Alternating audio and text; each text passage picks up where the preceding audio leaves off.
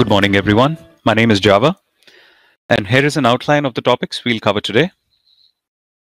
We start by looking at IP basics, which covers various aspects of IP addressing. Then I'll explain what is routing and what is involved in routing. We will also look at the different types of routes used. Let us start with IP basics. An IP address is a numerical label assigned to each device connected to a computer network using Internet Protocol or IP for communication. Every device in an IP-based network, including routers, print servers, and host PCs, need an IP address to identify the device as well as its location on the network.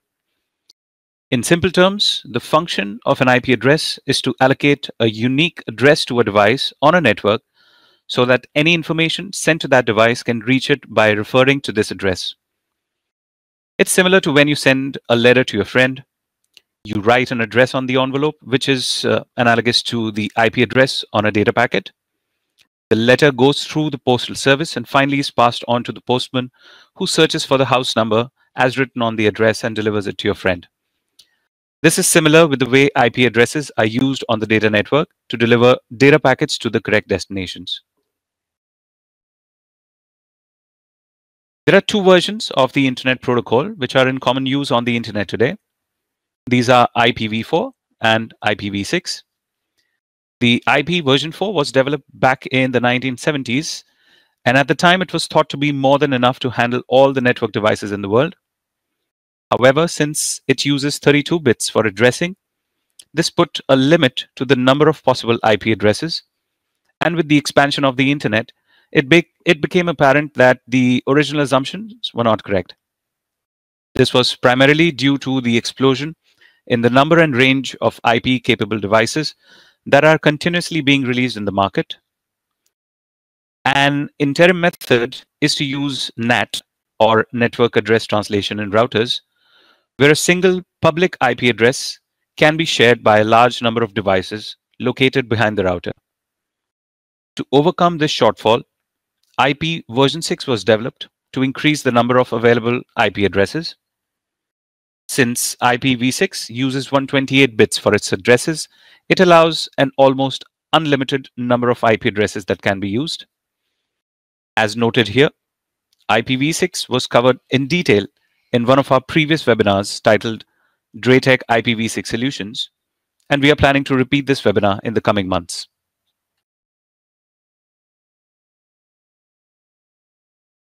See here, IPv4 consists of 32 bits and is written in groups of four octets, that is, four groups of eight bits. Rather than writing the IP addresses as zeros and ones, it's written in human readable form, for instance, 172.16.254.1. An IP address consists of two parts, the network component and the host component. The network component can be further broken down into subnets. For example, the IP address shown here belongs to the 172.16 network, and within the network, we have the subnet .254. Within each subnet, we can have up to 254 devices or hosts. Subnetting essentially is a method to create a larger number of networks. When the internet was developed, IP addressing was first designed with no concept of subnets. The classification into A, B, and C networks was done to cater for different size networks to accommodate large, medium, and small networks. The table here shows the number of possible networks from each network class A, B, and C. A subnet mask is a method that's used to break down a subnet into smaller networks. Subnet mask is made by setting network bits to all ones and setting host bits to all zeros. The table below shows the subnet masks for class A, B, and C networks. The subnet mask can also be used to subnet a network into smaller network segments. For instance, a slash 29 subnet mask that is 255, 255.255.248, will give you eight IP addresses for each network, where the host part is equal to 2 square plus 2 to the power 1 plus 2 to the power 0. That is 4 plus 2 plus 1, which is basically equal to 8 possibilities. It's important to note that there are two types of IP addresses. These are public IP addresses, which are visible on the internet, and private IP addresses, which are reserved for private use. A router connected to the internet will have a public IP address assigned to the WAN connecting face facing the internet and also a private IP address range for the LAN side of the router. The network address translation or NAT function in the router will translate the private IP addresses to the public IP address. Here we have the IP address range for each block of IP addresses reserved for private use. We'll now look at routing.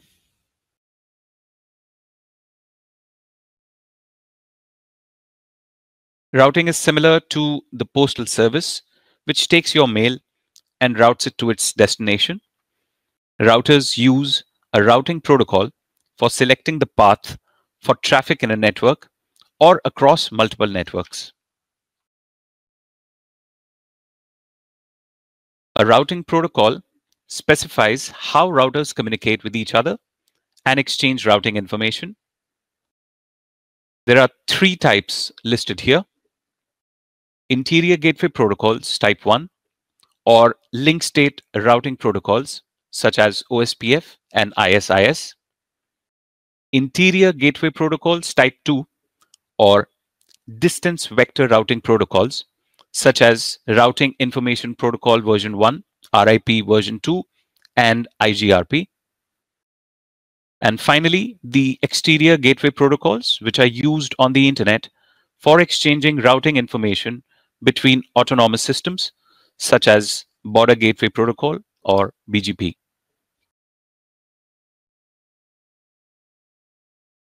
Routing decisions are made by using metrics to calculate the best path for a data packet to take.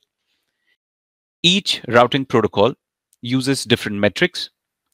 For example, the RIP or Routing Information Protocol uses the number of hops or how many networks it must cross to reach the final destination as a metric. Other protocols may use the network bandwidth delay, reliability, load, or MTU in making their routing decisions.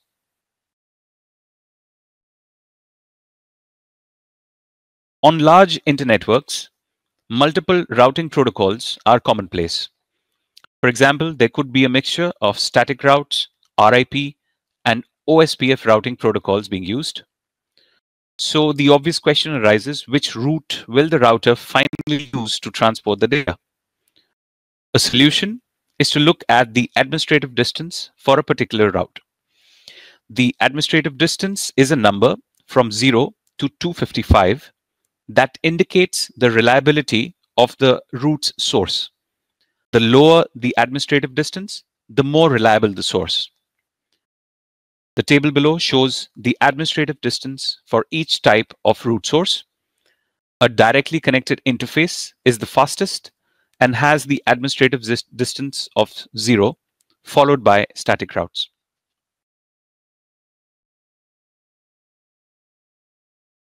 Each router maintains a list of preferred routes to different networks or hosts, which is called the routing table.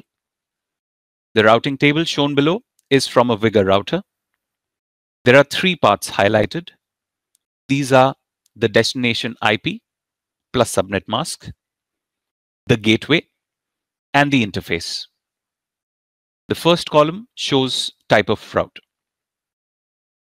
Please note that C implies connected. The WAN interface is directly connected to this IP address. S or static, where each route entry is manually entered in the LAN static route setup menu. R implies RIP, where the route is learned using the RIP routing protocol.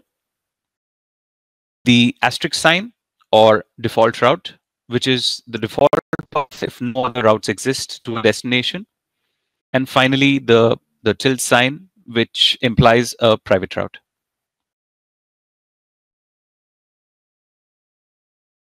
When a workstation needs to send data to a destination host or network, the router is usually involved in making that communication possible.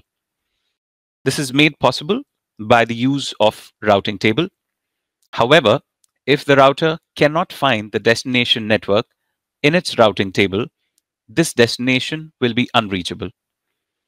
In this case, a default route is configured in the router to send all packets for unknown destination networks to the interface corresponding to the default route setting. In the example below, all packets destined for unknown net networks are sent to WAN1, that is 168.95.98.254. Static routes are manually configured in the router. They are suitable for small networks and they are usually indicated by key S in the routing table. For dynamic routes, we learned that uh, routes are learned from neighboring routers. They are suitable for larger networks such as the internet. They're indicated by key RIP or BGP in the routing table.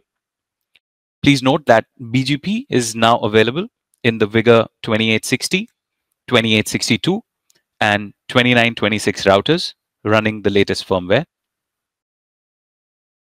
I will now pass to Ash, who will tell you more about static and dynamic routing in DrayTek routers. Okay, thanks Java. So um, routing information is derived from sources listed below. It's uh, direct connections that would be WAN and LAN, VPN connection, static routing, and dynamic routing. The routing table shown here has some different types of routes.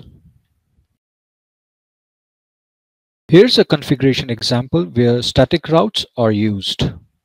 Here we have two routers linked to each other and we have a PC on LAN A to communicate with a device on LAN C on the second router. Static routes are used here to specify the data path. We have LAN B as the common link between the two routers.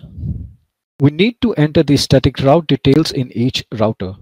Here we have one static route configured in router A, which says that to go to 172.16.2.0 network, we need to use the gateway 172.16.3.1, which is on LAN 2. Once it is configured, you will be able to see the entry in the routing table as shown here. Another type of routing used in DrayTek routers is inter-LAN routing. Inter-LAN routing allows communication between different subnets. This feature is useful if you want to allow communication between any two LAN subnets. For instance, we may have a LAN subnet for accounts configured as VLAN 1 and another LAN subnet for payroll configured as VLAN 3. And we want to allow communication between these two departments. To allow this to happen, we need to enable inter-VLAN routing between two VLANs. In DrayOS routers, we go to interlan routing menu and select which LAN we wish to route by clicking on the intersection of the two LAN to be routed.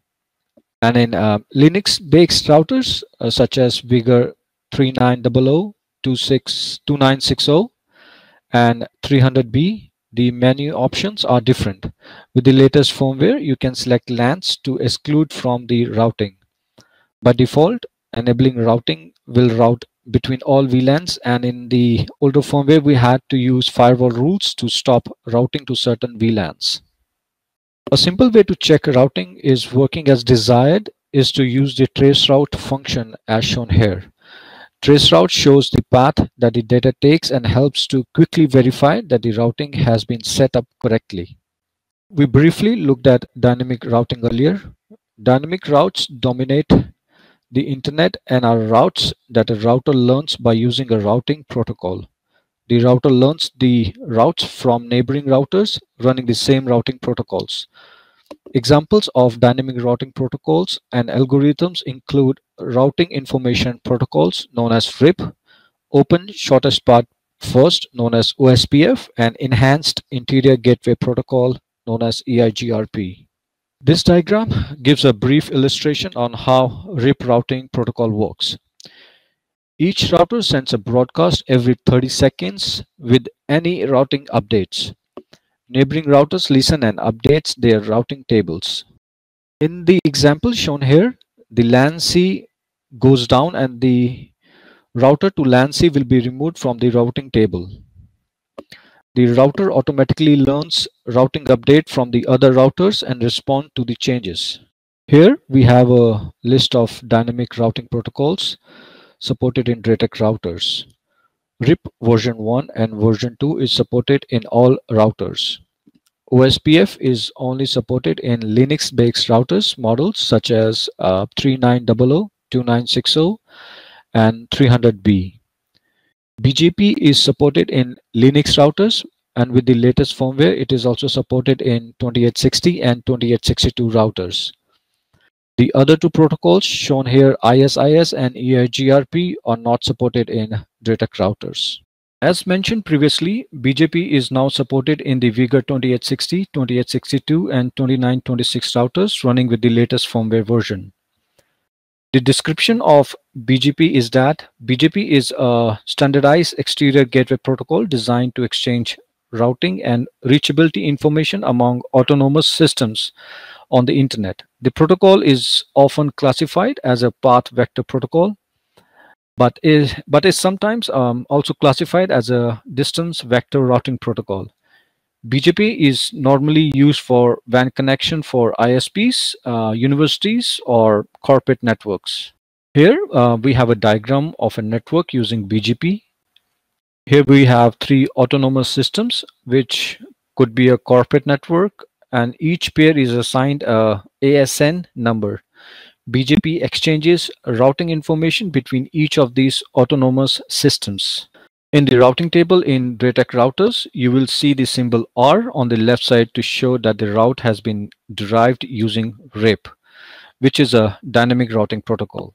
This brings us to the end of this video. Thanks for watching. For more information, please visit our website www.draytek.com.au or you can even email us at sales at.